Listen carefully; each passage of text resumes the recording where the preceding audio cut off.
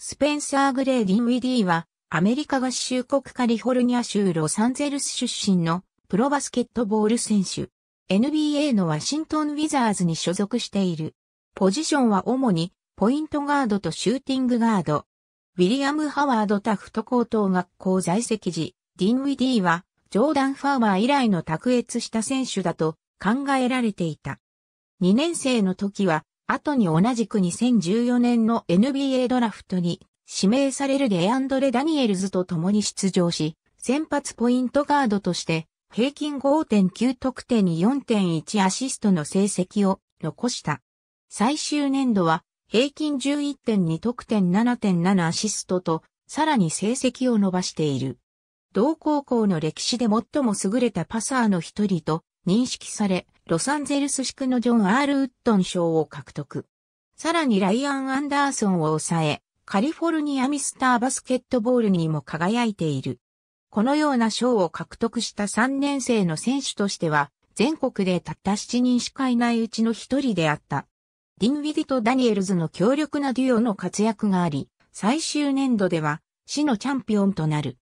この活躍が近隣のバスケットボール強豪大学の注目をディンウィディへ向けさせることになり、最終的にハーバード大学、オレゴン州立大学、サンタクララ大学、ネバダ大学ラスベガス校などの候補からコロラド大学を選んだ。ライバルズ .com 上での評価は3つ星とされ、2011年の選手としては全国で146番目の選手、ポイントガードとしては25番目の評価とされている。コロラド大学でのレギュラーシーズン初めての試合で、ディンウィディは7得点7リバウンドという成績を残し、フォートルイス大学相手の32点差勝利に貢献する。その後、6試合目には、ジョージア大学相手に2桁得点、初めての FG%、500を超えた試合だった。この試合の最終盤に勝利を決める3本のフリースローを沈めている。ディンウィディは同じく1年生のアスキア・ブッカーと新たなデュオを結成し、シーズン成績で合計677点、それぞれでは250点以上を挙げ、学校の歴史に名を残した。チームはパシフィック12カンファレンスを勝ち抜き、2002から2003シーズン以来の NCAA 男子バスケットボールトーナメントの出場権を獲得。ディンウィディはフリースロー成功率でチーム1位、1年生で3位の結果を残した。全国大会では3ポイントシュート成功率で438という結果を残し、パシフィック12カンファレンスのオールフレッシュマンチームにトニー・ローテンと共に選出される。 Pac-12 の新人で唯一 FG%、400を超えた選手となった。2年生時、カーロン・ブラウンとネイト・トムリンソンの卒業は、ディン・ウィディがブレイクアウトするシーズンのきっかけとなった。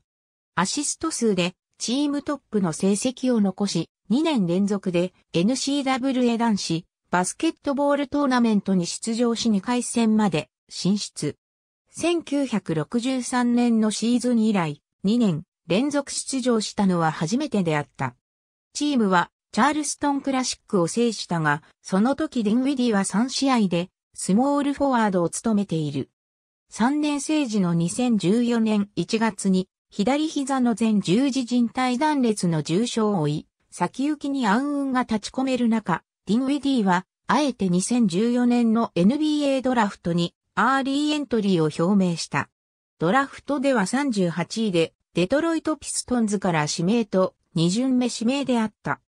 1年目の2014から15シーズンは、膝の負傷の影響もあり34試合の出場に止まり、2015から2016シーズンも D リーグで大半を過ごした。2016から17シーズン開幕前の2016年6月17日、シカゴブルズに移籍したが、10月21日に解雇。解雇後に、参加のウィンディシティブルズに送られた。同年12月8日、ブルックリンネッツと契約した。2017から18シーズン、2018年2月17日に行われた NBA スキルチャレンジに出場し優勝。同年 NBA 最成長選手賞の最終候補となった。2018から19シーズン、2018年12月13日、ブルックリンネッツとの間で3年3400万ドルで契約延長に合意した。このシーズンはディアンジェロ・ラッセルに先発を奪われ、68試合に平均28.1分の出場で16.8得点2.4リバウンド4.6アシストなどを記録した。2019から20シーズンからは先発に定着した。2020年11月25日に週間 MVP を受賞した。2019年12月20日のサンアントニオスパーズ戦で自身初の40得点以上となる41得点を記録した。このシーズンは64試合に平均31.2分の出場で20.6得点3.5リバウンド6.8アシストなどを記録した。2020から21シーズンの2020年12月27日、開幕3試合目のシャーロット・ホーネッツ戦の第3クォーターにドライブした際に不自然な着地をして途中退場となり、右膝前十字靭帯断裂の重傷を負い、シーズン残り試合の欠場が発表された。オフにオプションを破棄して FA となった。2021から22シーズン開幕前の8月4日、サイントレードで3年6200万ドルの契約を結び、ラッセル・ウェストブルックやカイル・クーズマなどが絡む後、チーム間のトレードにより、ワシントン・ウィザーズに移籍した。レギュラーシーズンプレーオフ長いウィングスパンを活かしたドライブが持ち味で、ドライブ時の FG% はリーグトップクラスである。またクラッチタイムでのシュート成功率は高く、喫水のマンバーメンタリティを持ったクラッチシューター。ありがとうございます。